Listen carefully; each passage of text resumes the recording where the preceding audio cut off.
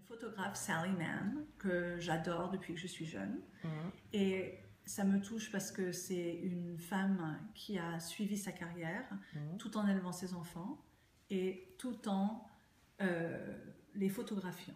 Et elle a été beaucoup critiquée pour euh, l'œil artistique qu'elle a porté sur sa famille. Euh, c'est des, des photos extrêmement poétiques euh, de vie quotidienne dans le sud des États-Unis.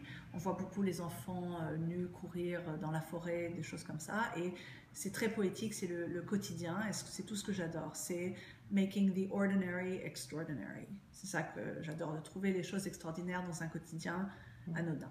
Okay, and the picture that I chose is um, a picture of one of her daughters.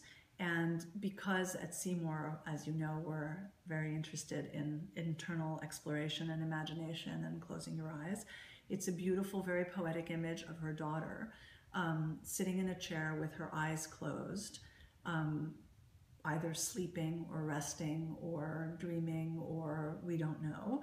Um, and I'm very drawn to the image. And also, because I have another side, it's a little bit of a disturbing image because it looks almost like a death pose. And it's quite alarming in it. And then the interpretation you'll see when you see the image. And the third reason that I chose it was because when I realized that we would be carrying baggage in a way,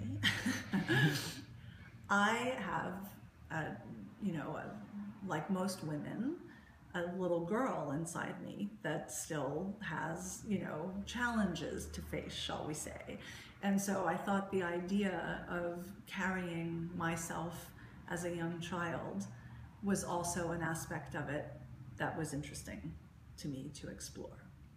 And I think it's important that we retain a childishness of our vision and that if everyone, when they were interacting with each other, remembered that there was a child inside of them, they might not be as brutal with each other. That each of us really has a frightened child inside of us. So, in a better world, for hope for a better world, I would hope that we would all be sort of softer and gentler with each other and look at each other as if we were children and not necessarily